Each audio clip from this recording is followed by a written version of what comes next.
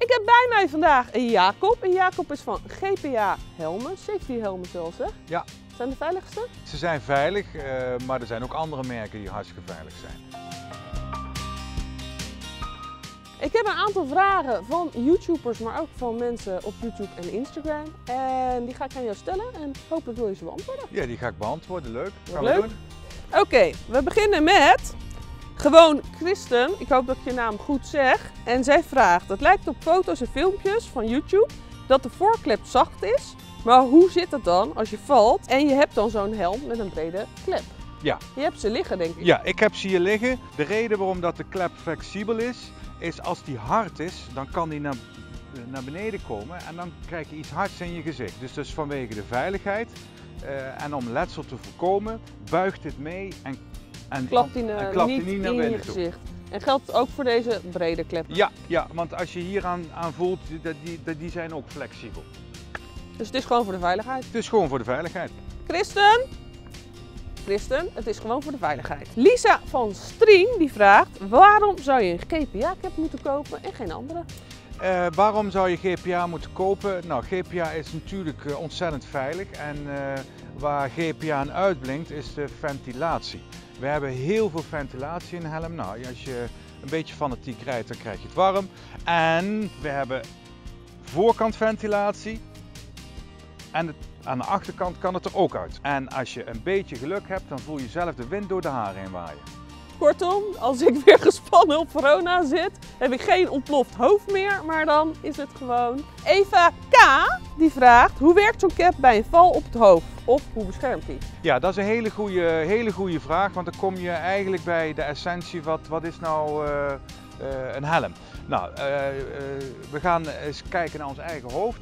Ons eigen hoofd bestaat uit schedel, dat is bot en daaronder zit hersenvocht. Nou, eh, ons eigen hoofd geeft al een klein beetje bescherming. Alleen wij gaan op een paard zitten en we willen meer bescherming hebben. Dus eigenlijk, wat er eigenlijk gebeurt is, is dat de helm eigenlijk een soort tweede hoofd is. Dus je hebt de buitenschaal, dat is dan uh, vertaald je schedel, dat yeah. bot. En je hebt een, een wat zachtere binnenrand, dat is deze rand. En dat is zeg maar je hersenvocht.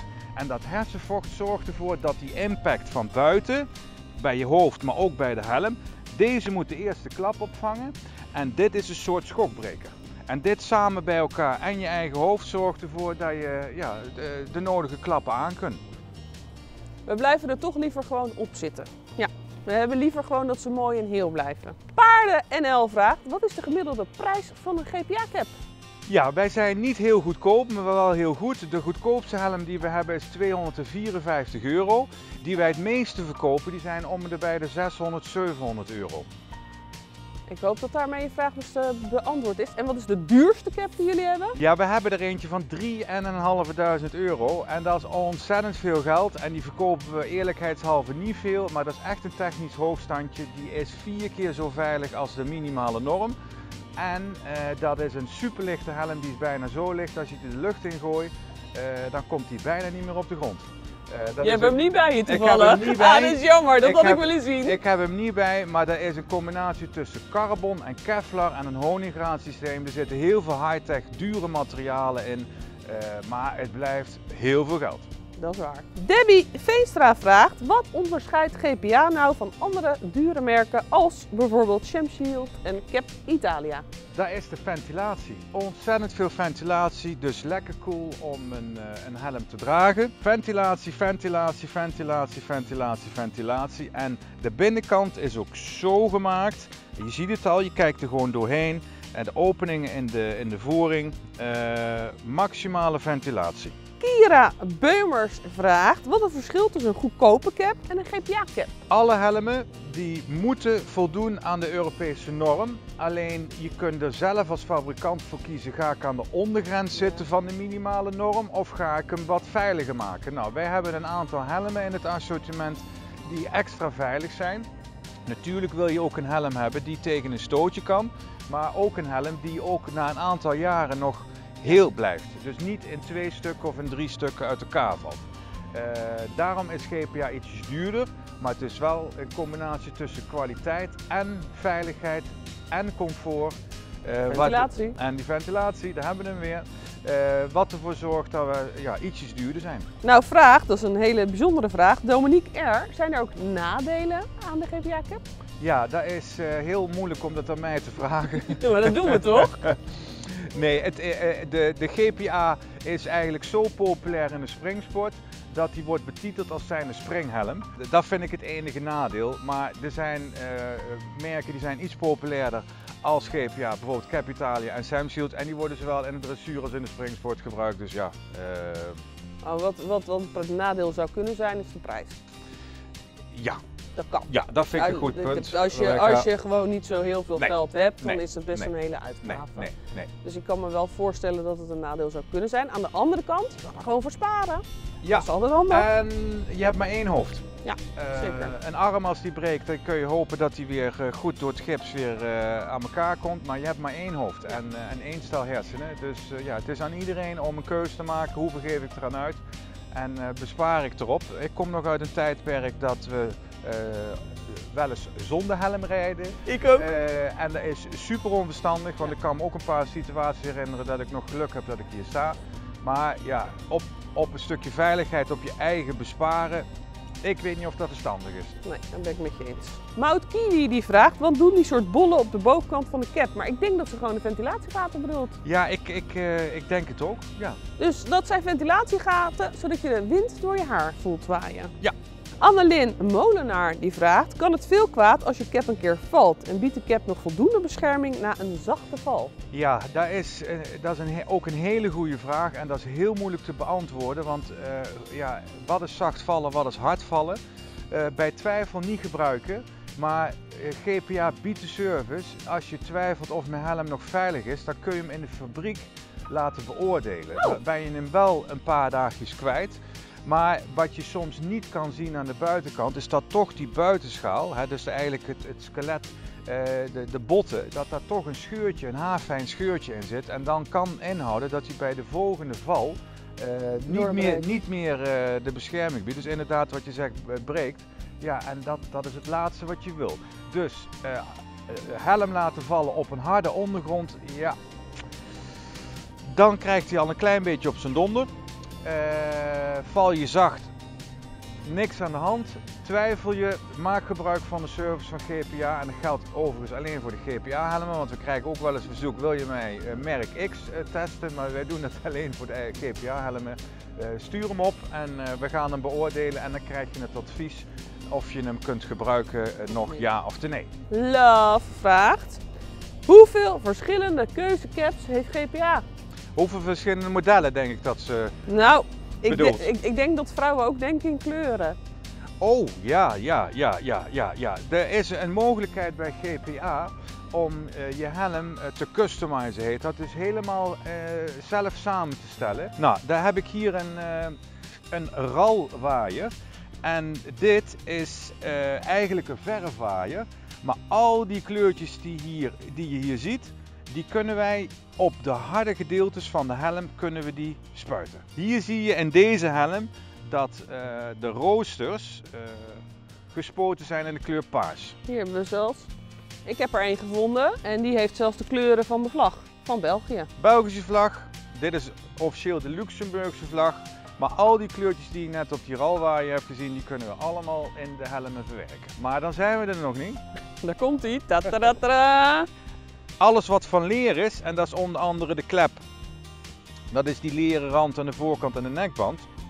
Daar kun je al deze kleurtjes voor kiezen. En je kunt er zelf voor kiezen om de bovenkant van de klep een andere kleur te geven als de de onderkant. onderkant van de klep. En daar heb ik ook een voorbeeldje van bij. Deze is blauw aan de bovenkant en oranje aan de onderkant. Ik zal even de link hieronder doen van waar je die customized caps allemaal kunt zien. En dan kan je hem zelf helemaal samenstellen. Jolien Rijders vraagt, hoe zijn jullie op de naam GPA gekomen? Eh, Grand Prix Autosport, automobiel. En het is een Frans merk en ze zijn 50 jaar geleden, ruim 50 jaar geleden begonnen en in de autosport. En dus daar komt het vandaan. Dus vroeger eh reden de mannetjes eh, in die open Formule 1 auto's met GPA-helm. Is dat nog steeds zo? Ze hebben nog een tak met fietshelmen. Eh, ze maken nog eh, voor helikopterpiloten helmen. Maar de autosport, eh, zijn ze uit. Oké. Nou ja, Grand Prix klinkt natuurlijk wel leuk en dat hebben we ook gewoon bij het paardrijden. Ja. En dan doen we autosport, dan moeten we gewoon eh, equestrian, de GPE moet het worden. GPE maken we ervan. Nou heb ik nog vragen van Instagram, dus dat is de volgende. Lingen van Oppen, die vraagt, waarom zou je voor GPA kiezen? Nou, waarom moet je voor GPKA kiezen? Kunnen, dit zijn mooie helmen. eh, en de ventilatie, daar hebben we weer. En Sibel, die vraagt, wat zit er in een GPA-helm? Qua materiaal. Ja, ik denk wel dat ze, nou je hebt het al even laten zien, dat je die harde schel aan de buitenkant hebt en Ja. dat je dat zachter naar binnen Ja. hebt. Maar van Wat- welk materiaal is dat Ja, wat ik, wat ik misschien wel leuk is om te vertellen is, de- is de voering. Want dat hebben we nog niet eh, behandeld in de, in de video's. Eh, en ehm, als je goed kijkt bij deze helm, dan zie je allemaal soort wiebetjes. En dit is een heel speciaal materiaal, dit is carbon. En carbon wordt ook onder andere gebruikt om racefietsen licht te maken, en sportauto's. En dat is een materiaal dat is ontzettend licht, maar heel sterk. Het enige nadeeltje is, is dat het wat kostbaarder is. Maar wij maken normaal de helm van een harde kunststof buitenschaal. Maar als je wil, zou je hem ook eventueel in het carbon kunnen krijgen. Deze rand aan de binnenkant, dat is eigenlijk een soort eh, schuimlaag. Dat zie je hier een beetje. Dat, is, dat is wat ik al eerder verteld heb. Dat is zeg maar het hersenvocht. Dat is de schokbreker die die directe impact moet voorkomen. En dit is een voering die kun je verwisselen. Die kun je ook wassen. Dat is En- heel fijn. Dat is fijn, want die gaat op een gegeven moment een beetje ruiken. Er gaat een beetje huidvet in zitten, er gaat een beetje make-up in zitten. En die is bekleed met Coolmax. En Coolmax is een materiaal dat is zacht op de huid. En dan krijg je niet zo snel jeuk en geïrriteerde huid. Deze zijn ook los verkrijgbaar, want stel je voor je bent zuinig op je helm en je doet er de nodige jaren mee. Dan zou je ook na een tijdje kunnen zeggen van hé, hey, ik vervang eh, de voering. Dan heb ik er weer een no- nieuwe mooie frisse voering. En die zijn niet heel prijzig, die kosten 28 euro en dan heb je weer een nieuwe set. En je kunt er ook gewoon twee nemen. één voor in de wasmachine en één voor in je cap. Heel goed. Zo doen vrouwen dat. En wat we er ook nog mee kunnen doen is, we hebben daar verschillende diktes in. Dit is een behoorlijke dikke. Maar wij kunnen ook nog wat ik noem dan fine-tunen qua mate. Zeg van ja, ik wil iets, iets meer of iets minder. Dan doe je er gewoon een, een andere voering in. Handig. Hoef je niet met een wieltje. Nina Inge die vraagt, hoe testen jullie jullie helmen? Ja, dat is, eh, eh, GPA heeft een eigen testcenter. En wat houdt dat in? Dat is een, eh, een heel bijzonder apparaat waar je helm op veiligheid kunt testen. Dat is ook een heel duur apparaat. En dat apparaat dat hebben ze omdat ze natuurlijk willen weten dat die helm ook veilig genoeg is. is. En dat apparaat is gelijksoortig als wat ook eh, de regelgever eh, de helm op test. Nou, dan moet je je voorstellen, dat is een, eh, een, een zwaar, zware pin. Die wordt omhoog gehezen en die wordt vanuit die hoogte wordt die op die helm losgelaten. Die komt met een grote klap naar beneden. Een soort pers! Ja, klapbats. En dan wordt er nagekeken eh, hoe dat is opgevangen. Eh, dat is één methode. Een andere methode is die ze hebben is een lode hoofd. En een lode hoofd is heel zwaar. Die hijsen ze ook weer de lucht in en dan laten ze daar met de helm omheen, om die lode hoofd, die helm met dat lode hoofd naar beneden vallen. Dat komt op een blok terecht en dan kijken ze ook hoe die getest wordt. Eh, dus er zijn een, een, een, een aantal extreme methodes en er wordt gemeten en er zit een speedcamera achter. Cool. Eh, dat is echt helemaal high-tech. Het is een heel duur apparaat nogmaals, maar ehm, ja. Nou, blijft Jacob in ieder geval dit jaar bij Hart voor Paarden, of Hart voor Paarden bij Jacob. Dus misschien kun je wel wat filmmateriaal Ja, daarvan ja. aanleveren. Dat zou wel heel gaaf zijn. ja, dat kan. En dan eh, kunnen we dat misschien wel eh, meenemen. Dat gaan we doen. dat is wel echt gaaf. Dat gaan we doen. Helemaal cool. Hoeveel design... Oh, dat vraagt Christine Stok. Iedereen kent Christine natuurlijk, van Hart voor Paarden. Maar die wil graag weten, hoeveel designers zijn er in dienst van GPA? Ja, er is één hoofddesigner en eh, die meneer die, eh, die ontwerpt zelfs eh, speedboten, is iets heel anders. Eh, maar er is eigenlijk één hoofddesigner en we hebben natuurlijk de nodige vrouwen rondlopen die ook iets met paarden hebben en die worden er ook bij betrokken. Dus eh, ja, antwoord is één hoofddesigner en heel veel dames die zich ermee bemoeien. En uiteindelijk komen we op een, eh, op een helm waar wij van denken, ja, dat ziet er wel leuk uit. Kusje Daantje Kusje, die vraagt... Geeft GPA-helmen meer zekerheid aan mensen die een ongeluk hebben gehad? Omdat hij heel beschermend aanvoelt. Ja, daar is, eh, ja, het is vervelend als je een ongeluk hebt gehad, maar dan heb je helaas eh, kunnen ervaren hoe belangrijk het is dat je zuinig op je lijf moet zijn. Eh, wij hebben een, een, een, een, een aantal helmen in het assortiment die zijn ja, extreem veilig.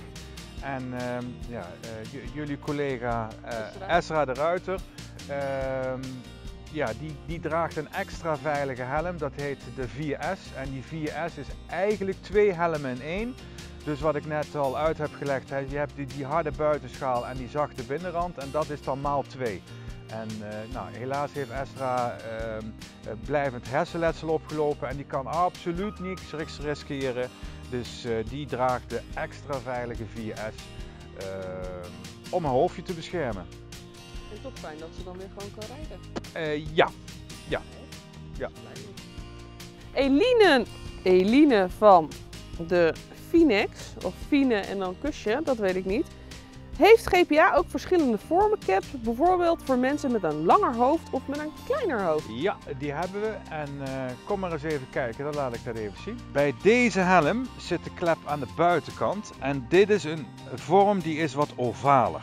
Ja. Bij deze helm is de klep tussen de buitenschaal en de binnenwand bevestigd.